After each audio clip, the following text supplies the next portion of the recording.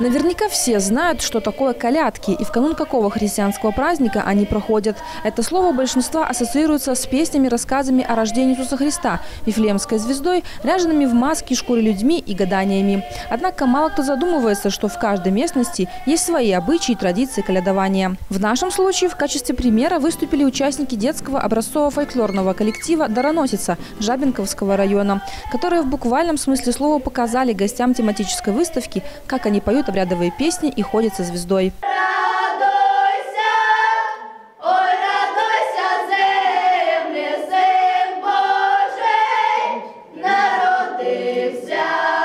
Калісьці нашы продкі рыхтаваліся да каляд, яны прыбіралі хату, заўсёды шылі адзенне да гэтага свята, м, э, рыхтавалі нейкія іншыя рэчы.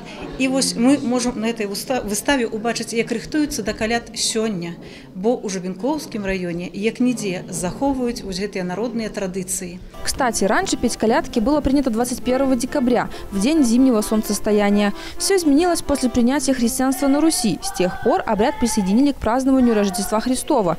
Поэтому сегодня в народных колядках сосуществуют и языческие, и христианские мотивы. Их главный символ – коза, которая, согласно поверью, оберегает дом от злых сил. До сих пор пение обрядовых песен перед Рождеством – традиция в Жабинковском районе, которая передавалась, передается и будет передаваться от старшего поколения к младшему. У нас на Рождество ходят со звездою.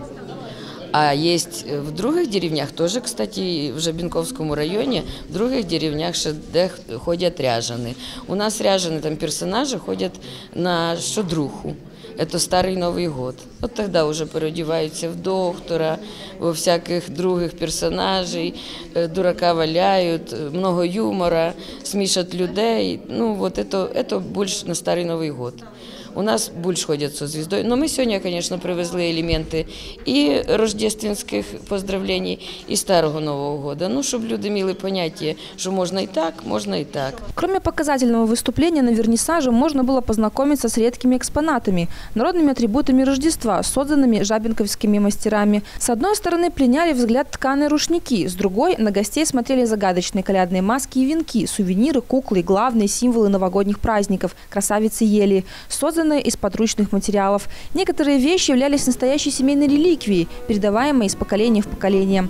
Словом, выставка получилась очень колоритная, буквально проникнутая рождественским колядным духом. Прийти и почувствовать его можно до 20 января нового 2016 года.